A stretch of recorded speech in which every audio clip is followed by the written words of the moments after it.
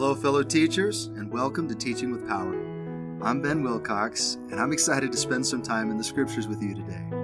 Today, we're going to be covering Doctrine and Covenants sections 94 to 97. So grab your scriptures and your marking pencils. It's time to dig deep. I like to do the following icebreaker to introduce this section. And you know, you can tell a lot about what's important to the people of a certain city based on the kinds of buildings you find at their center. So let's see if that holds true. What would you say is important to the people of the following cities? So here we've got Washington, D.C. Well, based on the buildings, how about politics or government? How about the city of Manhattan in New York? Business or money? Let's go to another city here Las Vegas. Gambling or sin. Uh, it's Sin City, right? And then how about this next one? Oxford. And I'm going to say education is important to the people in that city. Now let's talk about another city. I currently live in and I grew up in Salt Lake. And sometimes when people come to visit, they're a bit confused by the street system that we have here. It's the city where the streets have no names. Most are just numbers. So you have 13th East, 53rd South, 9th West. And people ask, how do you get around with just these numbers? And I tell them that it's actually uh, the easiest system to learn. Somebody who's never been to Salt Lake could drive directly to almost any location if they just understand the system. With just two coordinates, you can get almost anywhere. And here's how it works there's a corner in downtown Salt Lake with this little stone pillar on it. And this is called the base meridian of the Salt Lake Valley. All the streets are measured from this point. So if I tell someone I want to meet them at 6th South and 9th East, that means they simply have to drive six blocks south of this point and nine blocks east of it. Based on the given address, they'll automatically know which quadrant of the city they're going to. And then they can just follow the street signs until they get to their destination. Give me two coordinates, and I can basically drive anywhere in the valley without ever having been there before. That may, may be a bit of an oversimplification, but it seems to work here. Now, if you were visiting the Phoenix, Arizona area, and I tell you to meet me at Baseline and Val Vista, unless you're familiar with the area, or you're using GPS, you're not going to have any idea where to go you're going to have to pull out a map and try to find those roads, or you're going to need to ask somebody for directions. So I like I like the Salt Lake system. Now that's interesting, but what's more interesting is the location where you find that base meridian pillar. What building is right at that corner, exactly at the city center? It's the temple all roads and addresses in the Salt Lake Valley are measured by their distance from the temple. It's at the center. I want you to open your scriptures to section 94 of the Doctrine and Covenants. This is a building revelation. The members of the church in Kirtland, Ohio, are being instructed to build three different buildings. And can you find what they are? In verse 1, 3, and 10. First, in verse 1, you have the temple. And that's key. The temple is where Zion begins. It says, Ye shall commence a work of laying out and preparing a beginning and foundation of the city of the stake of Zion here in the land of Kirtland, beginning at my house. The foundation of the city of the stake of Zion begins at his house, at the temple. Zion always starts at the temple. We saw that back in 84 4, where it said, Which city shall be built, beginning at the temple lot. So the saints build a temple in Kirtland, and they lay the cornerstones for a temple in Independence. And when they're pushed to far west, they lay the cornerstones for a temple there. They build a temple in Nauvoo. And when they arrive in the Salt Lake Valley, one of the first things Brigham Young is going to do is announce a location for the temple. Why? Because Zion begins at the temple. That's building number one. Building number two, in verse 3, a house for the first presidency of the church in their work of obtaining revelations. And in verse 10, a house for the translation and printing of scriptures. Hmm, so so what does that suggest is important to members of the Church of Jesus Christ? What's at our center? The temple? We'd say the Lord and his will because the temple is his house, or work for the dead, or covenants, or sealing. The revelations of the living prophets are central, and the scriptures are central to us. And these are the original plans for the city of Far West in Missouri, the place that's later going to become the headquarters of the church after the saints are driven from Jackson County. And what do you see right in the middle there? It's, it's the lot for the temple. That same idea is reflected in the Old Testament, uh, in the camp of the children of Israel as they traveled through the wilderness. The tribes of Israel were arranged in a square around what central building? It was the tabernacle, which was, was their version of the temple.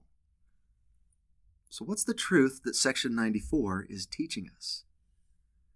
The temple the words of the living prophets, and the scriptures are central to the church.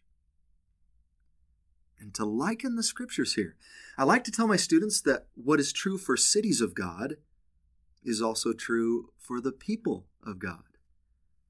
The city plan is an object lesson for our lives. And so we ask ourselves, what is at the center of my life? If your life was represented by a city plan, and in the middle of that city was a, a giant statue or a building that represented what was most important to you. The thing that took precedence or priority over everything else. What would that building be? Or what would it be a statue of? Would it be a bank? A basketball or football stadium? Your office or the headquarters of your business? Would it be a movie theater? Or could it be a statue? A statue of your friends, uh, an Xbox, the opposite sex, a fancy car, or maybe even a 200 foot statue of yourself. Or maybe it could be a statue of a certain idea or ideal success, recognition, popularity, beauty, fun. Now, it's not that these buildings or statues have no place in our cities. They aren't always a matter of right and wrong, but are they at the center? Are they the standard by which all our decisions and priorities are based? Or is it the Lord and His gospel that's found there? The temple, the prophets, the scriptures. Are the cities of our lives more of a Salt Lake or a Las Vegas? And how could we tell? We can tell what's at our center by examining which side takes precedence and priority when they're placed in conflict. For example, if we have to choose between sports and going to church, which comes first? If we have to choose between honesty and profit in our business, which comes first? If we have to choose between scripture study and playing video games, which comes first? If we have to choose between our political views and the counsels of the prophet, which comes first? The thing that is at our center will guide and inform all of those decisions. Now, by looking at Section 94 as more than just a city plan, but a life plan, you can gain even more insight. I want you to look in the following verses for instructions on building the cities of our lives. You can finish this sentence I should build my life, dot, dot, dot. What could you fit there? From verses 2, 5 through 8, and verse 12. And here's what I found. According to verses 2, 5, 6, and 12, I should build my life after the pattern which is given unto me, the pattern given by the Lord. And where do we find the pattern? In the temple, the words of the living prophets, and in the scriptures. And according to verses 6, 7, and 12, I should build my life wholly dedicated unto the Lord. And according to verse 8, I should build my life in purity and not let any unclean thing into it. Because the promise is if I'm clean, then the Lord's glory and presence will be there. And alike in the scriptures, what can I do to put the temple, the words of the prophets, and the scriptures more at the center of my life? How could I dedicate myself more wholly unto the Lord? And is there anything unclean in my city that I need to get rid of? Well, I hope that this lesson has been somewhat of a reflective experience uh, to get a bird's eye view of the city plan of our lives. I think it's a good question to often ask ourselves what is at my center? And hopefully, we'll always find the things of God there. Sometimes we might need to bring in the wrecking ball of repentance and righteousness and demolish the buildings of sin and disobedience, or tear down the statues of pride and greed that may have crept onto our skyline. Or maybe we'll just need to do some building relocations, move the football stadium down the street a little bit, or place our families closer to the center and the office a few more blocks away. Perhaps we need to place the statue of worldly success on the periphery of the city plan. And just like Salt Lake, if things are in their proper order and we know the system and we have the temple at the center, then we too should be easily able to arrive at our desired destination, which is hopefully eternal life. For sections 95 to 97, the focus continues to be on the temple. I'd call these the construction instruction sections. Each one deals with some aspect of the construction of temples in either Kirtland or Independence. So, for an icebreaker to this section, I like to begin with a little bit of temple trivia. Now, you can go through all of the questions first with your students and then correct them all together and see who got the most right, or you could just go through them one by one and reveal the answers as you go. But let's see how you do here. In terms of square footage, what is the largest temple in the church?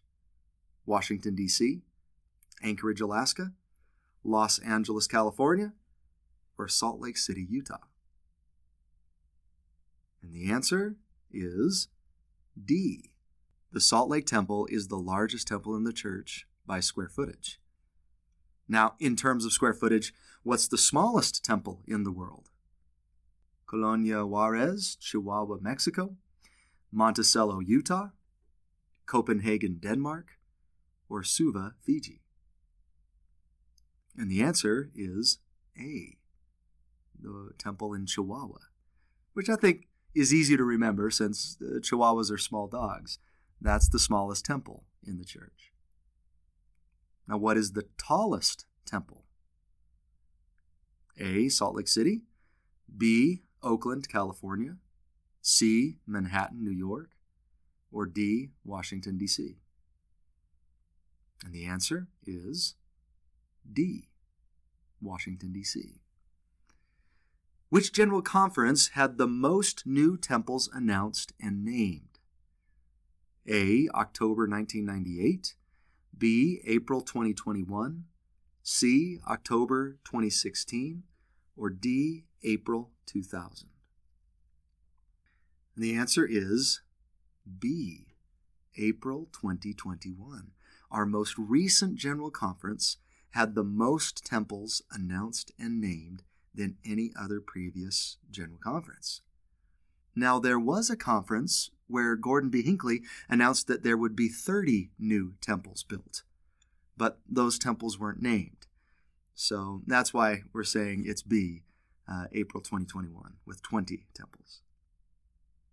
Number five, which prophet dedicated the most temples during his time as president? A. Heber J. Grant, B. Ezra Taft Benson, C. Gordon B. Hinckley, or D. Thomas S. Monson?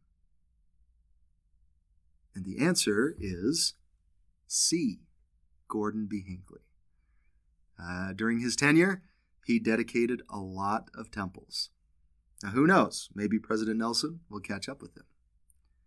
Number six, which was the first temple constructed outside of the United States? A. Bern, Switzerland. B. Apia, Samoa. C. Stockholm, Sweden. Or D. Cardston, Canada. And the answer is D. Cardston, Canada. Uh, my hometown, the, the place where I was born. Number seven, temples have been announced and constructed in all of the following countries except A. The United Arab Emirates, B. Poland, C. India, or D. China. And the answer is B. Poland. And that one just blows my mind. Uh, if you had told me uh, 10 years ago, even, that we were going to have a temple in the Middle East or in India or in China, I would have, I would have never believed it.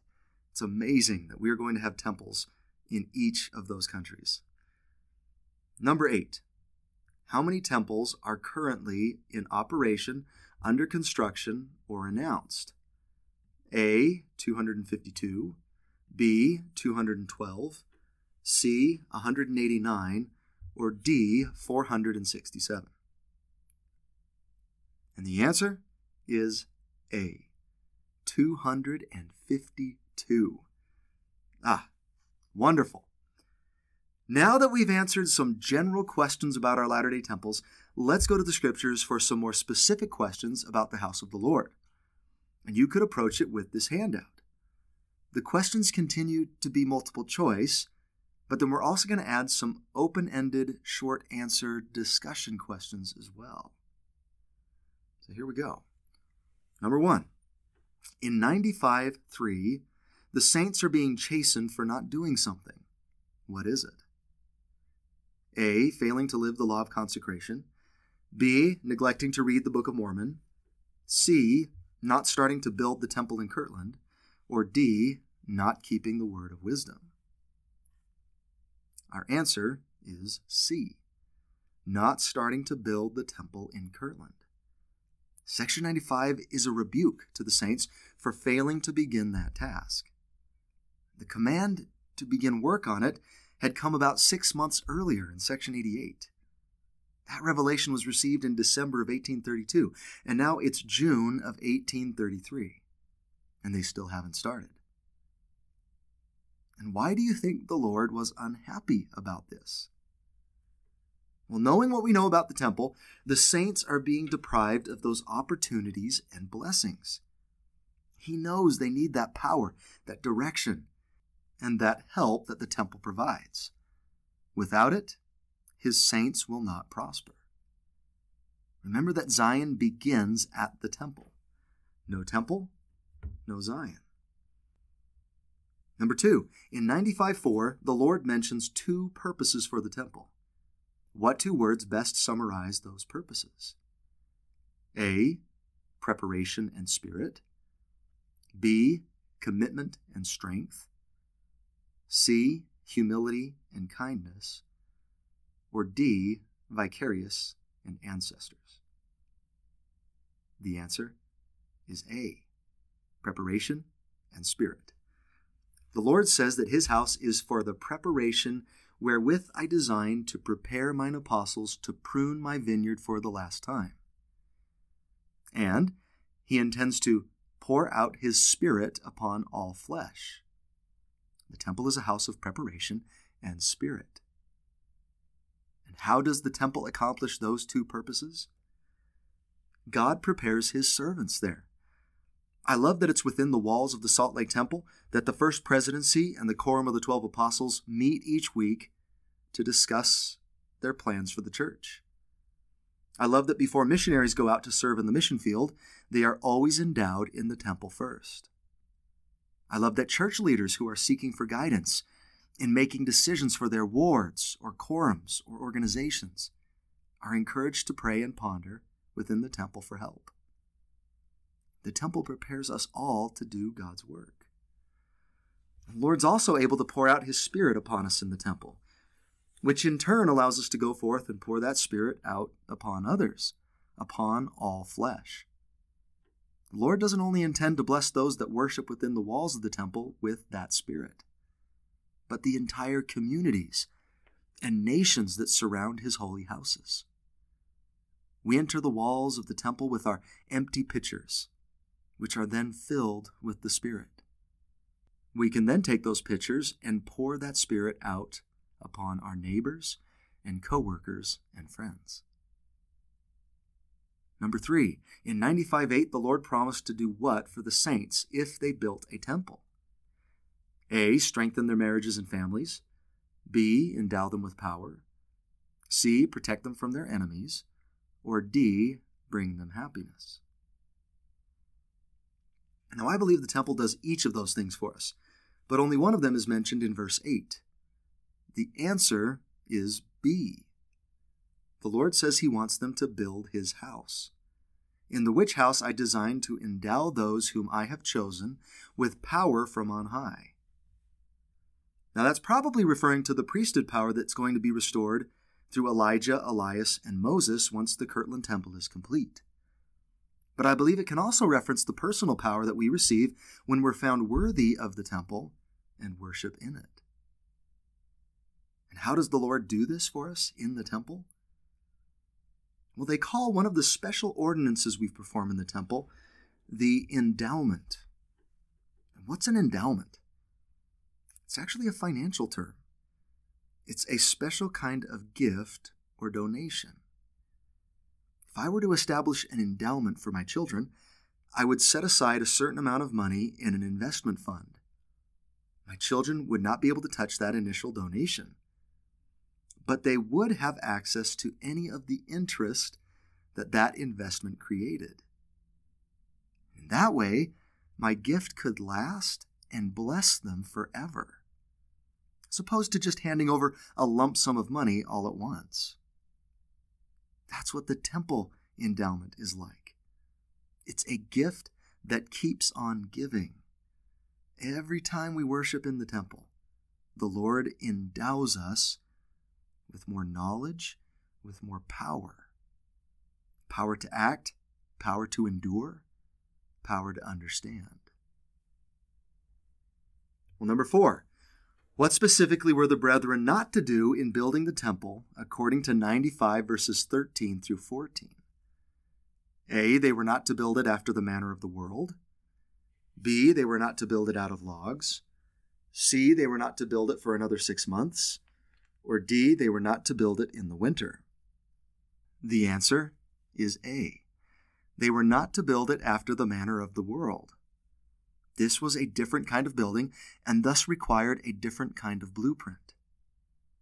And now, our discussion question Why do you think the Lord instructed them not to do that? And the answer is right there in verse 13. Let the house be built not after the manner of the world, for I give not unto you that ye shall live after the manner of the world. Maybe you've noticed something about our temples. If you look at the architecture, you'll notice that they are unique from all other buildings, even our own churches. They look different, they stand out. Latter day temples have their own distinct style. And there's a lesson in that. The temple is symbolic in everything, even the architecture. Temple architecture reminds us that we are to be different from the world. We don't build our lives after the manner of the world, but after the manner of the Lord. And in my interviews with the youth of my ward, I often remind them that they are not meant to be or act like average teenagers.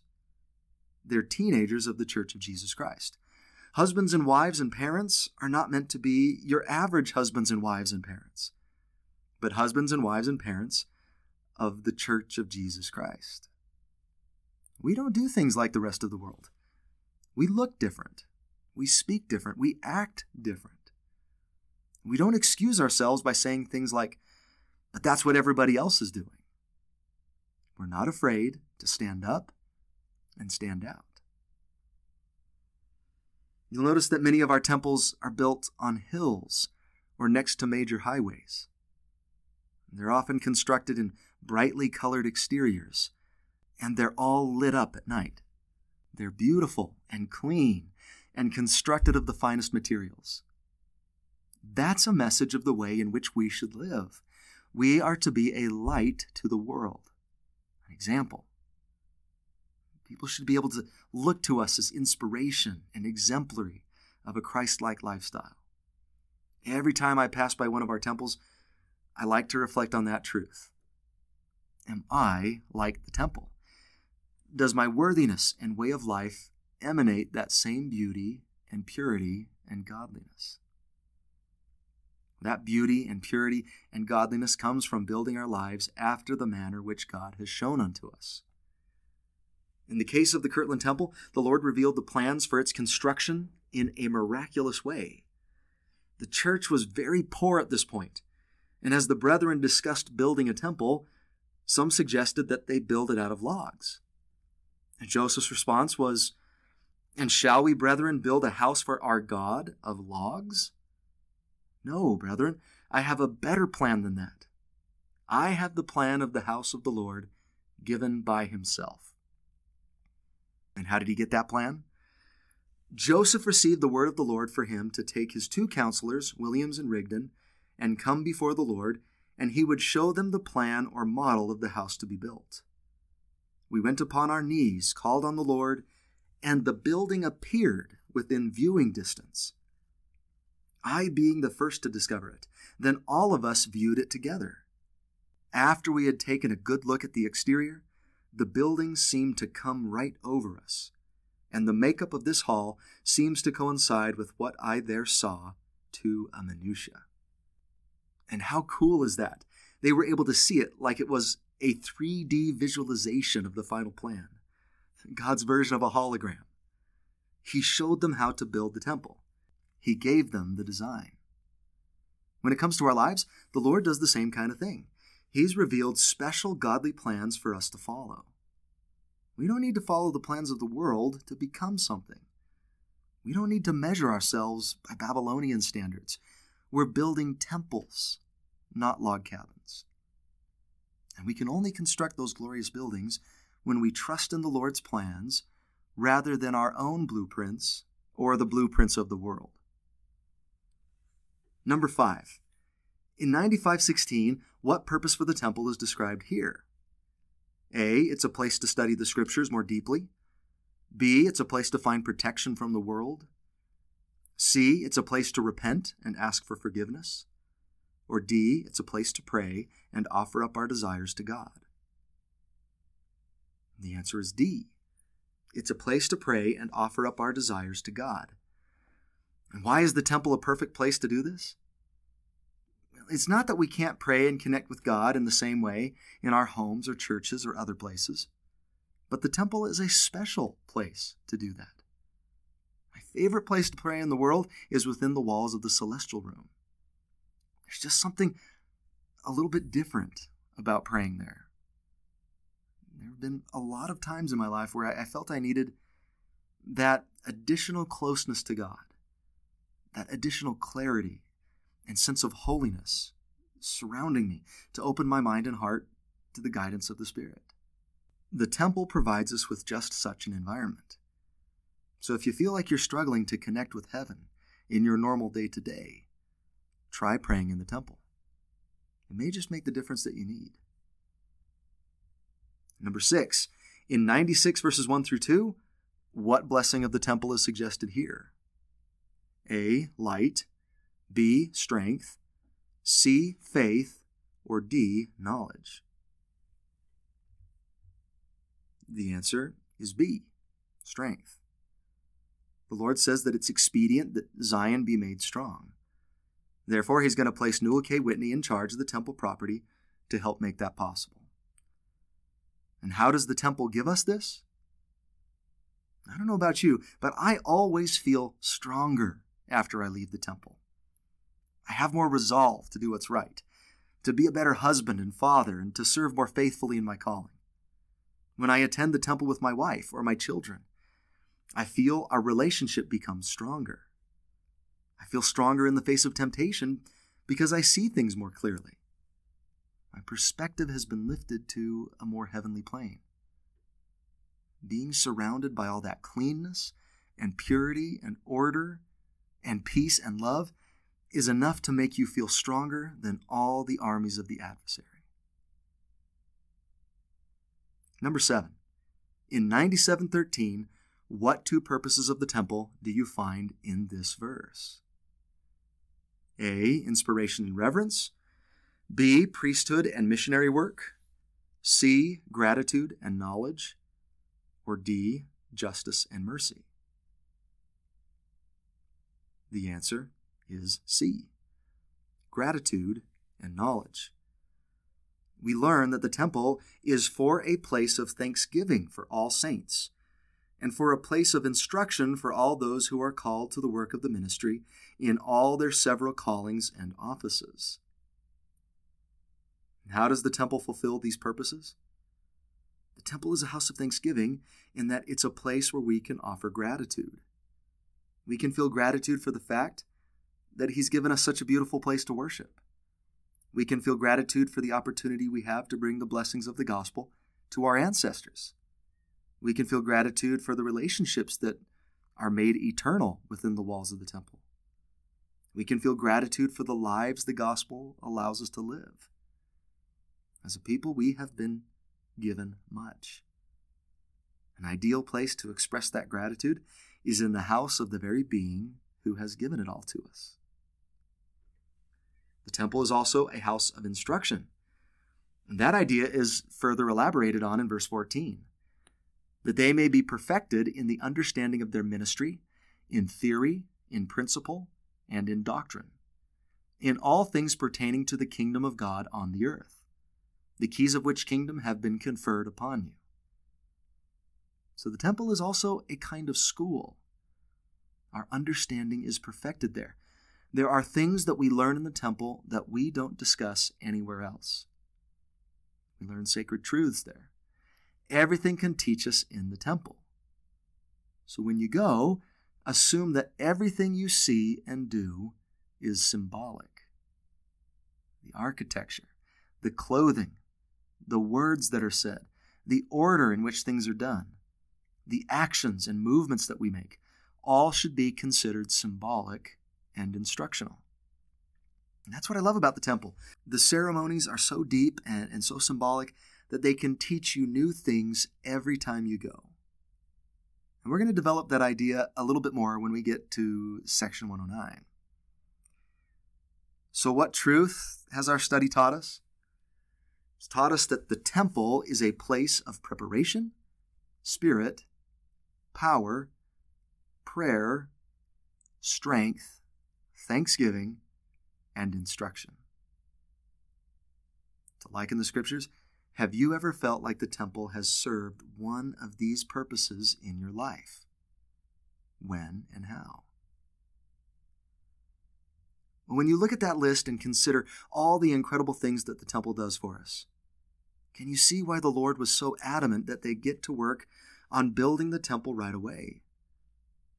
Maybe we can understand why he chastises them so sorely and calls their delay a very grievous sin in 95 verse 3. They had gone six more months without access to those blessings. And in 95 6, he compares that to walking in darkness at noonday. And do we ever make the same mistake? Are there times when we've allowed ourselves to go months and months without worshiping within the walls of the temple? When those great blessings are sitting right there, do we just drive by or let the worries and busyness of the world get in the way? I can see three temples from my bathroom window. How sad would it be for me to have that kind of opportunity and go months and months without visiting one? It would be like walking in darkness at noonday. I know that not all saints have that kind of access and blessing, but over the last three decades, our church leaders have worked tirelessly to put temples within close reach of almost every member of the church throughout the world. I don't know what the exact statistic is, but I can imagine that over 80% of the members of the church live within an hour or two of a temple. If you look at a map of all the temples either built or announced throughout the world, it's absolutely amazing. Dots everywhere, even on many of those little islands of the sea out in the middle of the ocean. God wants all of his children to experience these blessings. And so I hope that this can maybe serve as a bit of a wake up call for us not to delay the blessings of the temple. And we don't even personally have to build them, we just need to go. Those promised blessings will be ours if we just make the time to get there. I had a bit of a quicker activity that you can do here in section 97. It's been a while since we've done a crossword puzzle, so you could use this handout to briefly cover some of the principles that are found in this section. I'd introduce it by challenging my students to find the true definition of Zion. Zion is so much more than a place than a physical location. What is it? The answer is in verse 21. For this is Zion, the pure in heart. And that was perhaps the Lord's way of reminding the saints in Independence that Zion was to be built in their hearts, not just with their hands. You can't have Zion the place without first having Zion the people. So, section 97 is going to help us to understand some of the qualities that a Zion people possess. So, here we go. A Zion people, number five across, they have contrite spirits. Six across, they seek diligently to learn wisdom and to find truth. Seven across, they are truly humble and nine across, I, the Lord, show mercy unto all the meek. Now for the down clues. They should yield good fruit. Two down. They are willing to observe their covenants by sacrifice. Three down. A Zion people are pure in heart. Four down. They have honest hearts. And eight down, they also have broken hearts. And as a teacher, you could discuss with your students why these attitudes are important and encourage them to apply them in their own lives. Well, one final thought. I want to take a quick look at the first two verses of section 95. For an icebreaker, you can invite your students to share a personal experience.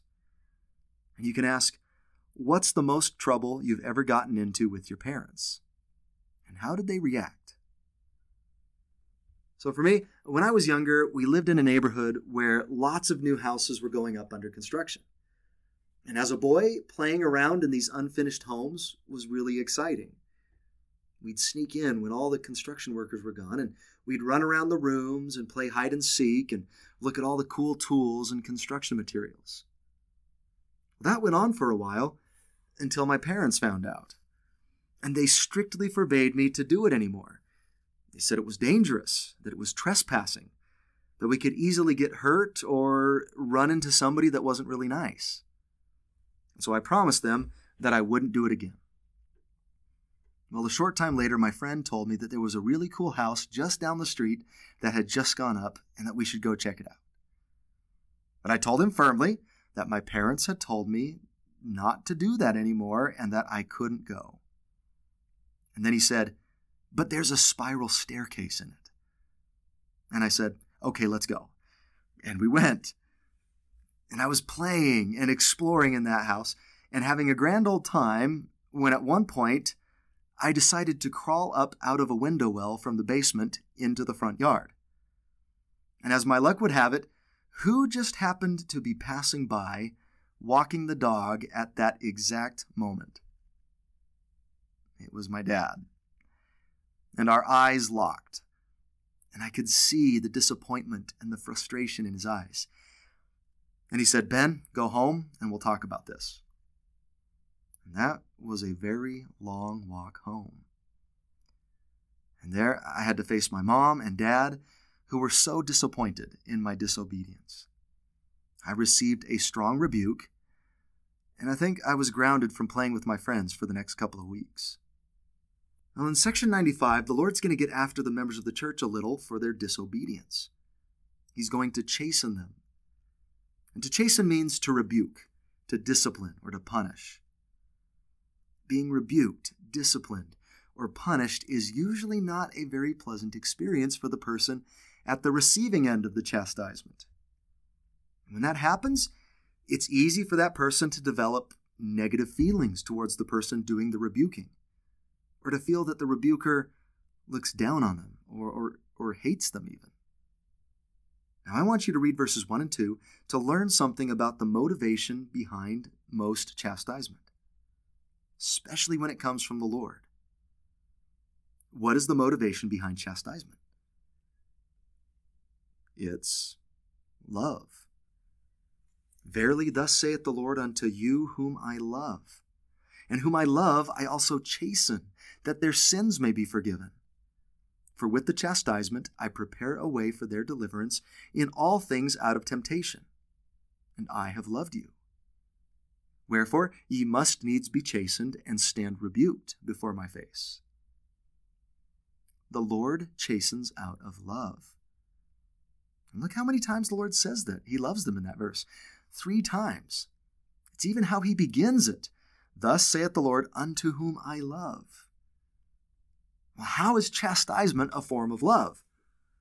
The Lord gives them a couple of reasons in verse 1 so that their sins can be forgiven and to deliver them out of temptation. The Lord is hoping that His rebuke will help turn their hearts back to God to seek forgiveness. It also gives them added motivation not to sin again. Chastisement helps us to know where we've gone wrong and, and can help prepare us to do what's right in the future. When our judgment is lacking, somebody with more experience can help us to see the danger and error of our ways. I know we've probably all heard our parents at some point say, I'm only doing this for your own good. And we have these rules and these consequences because we care about you. And as a youth, I didn't always believe that. Now, as a parent, I know for a fact that that's true. It's sometimes easy to doubt that goodwill when somebody is chewing us out. But it is there honestly, the very act of chastisement and rebuke demonstrates concern. Now, we're not talking about uncontrolled anger or domineering or abuse here. It is possible for chastisement to cross a line. But if a parent didn't care about their child, how would they react when they saw them making foolish or dangerous choices? They would say, I don't care what you do. I don't care if you get hurt. I don't care what consequences you might suffer. Engagement and discipline show love. Lack of response and disengagement shows indifference. God's not indifferent to us.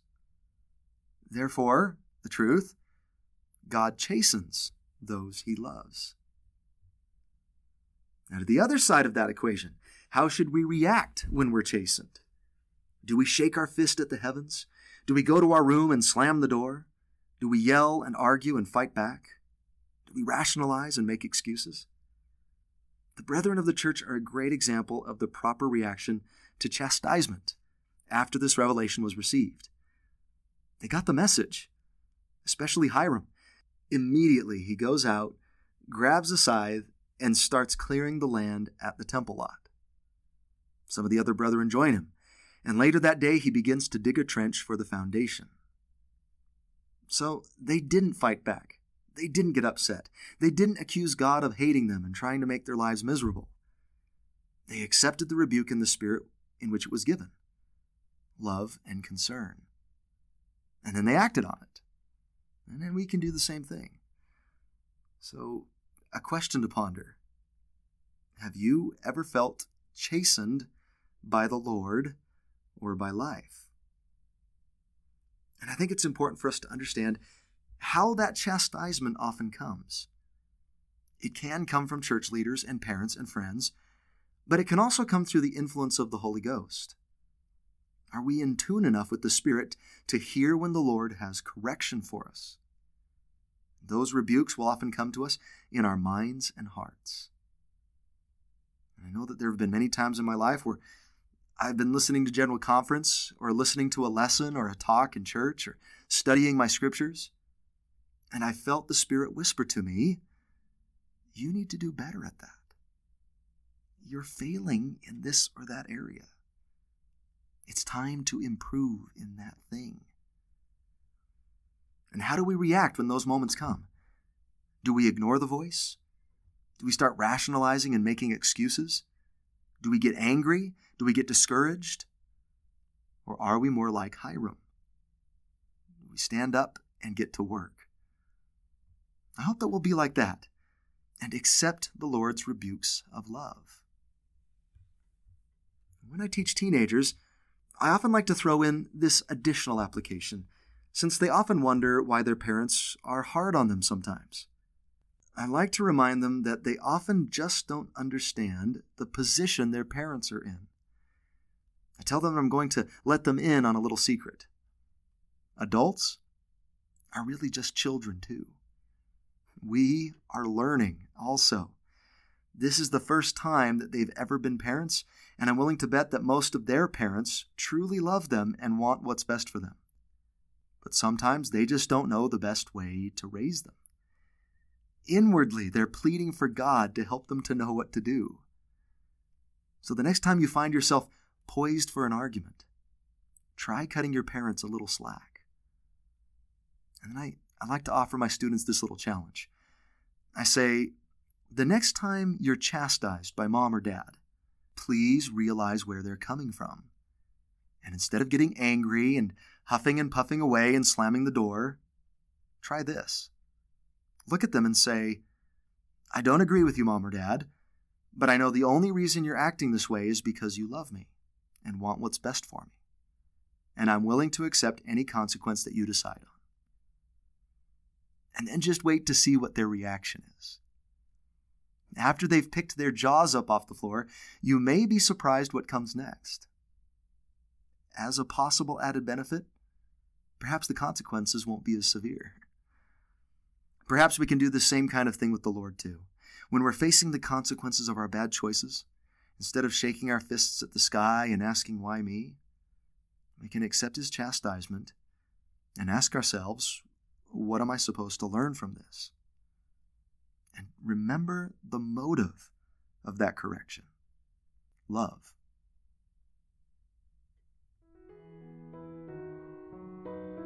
Well, thank you for joining me today. It's a bit of a shorter week. I hope it's been meaningful to you. And really, the best thing that you could do if you found this material helpful is to share it with somebody that you feel it could help. If you'd like access to any of the teaching resources that are associated with this lesson, go to teachingwithpower.com and you'll find all the links that you need. Thank you so much for watching. Now get out there and teach with power.